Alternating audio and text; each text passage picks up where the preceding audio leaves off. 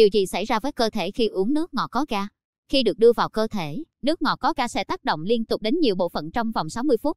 Theo kỹ thuật viên Nguyễn Phạm Phương Trang, khoa vi sinh, bệnh viện thành phố Thủ Đức, thành phố Hồ Chí Minh, khi uống nước ngọt có ga, trong 60 phút đầu tiên, cơ thể sẽ có nhiều phản ứng. Nguyên nhân là trong nước ngọt có ga, thành phần tạo hương vị không thể thiếu là siro ngô. Chúng chứa một lượng đường fructose lớn và chỉ được chuyển hóa khi ở gan. Đây là nhân tố có liên quan nhiều vấn đề sức khỏe nghiêm trọng như béo phì, tim mạch và tiểu đường. Đồ uống này là một trong những nguyên nhân chính gây béo phì, tiểu đường tuyếp 2 và sâu răng. Trong thí nghiệm nhỏ của một dược sĩ người Mỹ, khi được nạp vào cơ thể, nước ngọt có ga sẽ tác động liên tục trong vòng 60 phút. 10 phút đầu tiên, khoảng 35 gram đường được nạp vào sẽ làm cơ thể say. Bạn có thể xuất hiện cảm giác buồn nôn tức thì vì quá ngọt. Tuy nhiên, một loại hương liệu mang tên axit phosphoric sẽ ngăn cản được cảm giác này. 20 phút, lượng fructose lớn trong nước ngọt khi vào cơ thể sẽ khiến hoạt động chuyển hóa ở gan quá công suất.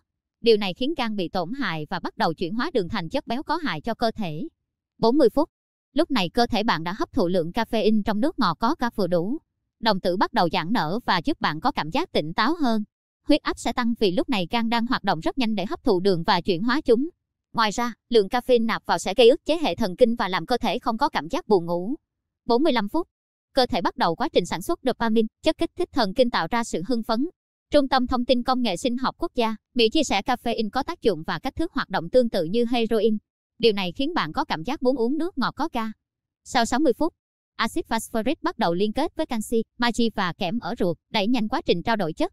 Điều này không thực sự tốt cho cơ thể vì thực tế là chúng đang hoạt động quá mức. Lượng đường và các chất phụ gia nhân tạo cao sẽ đẩy canxi ra khỏi cơ thể, làm xương suy yếu hơn.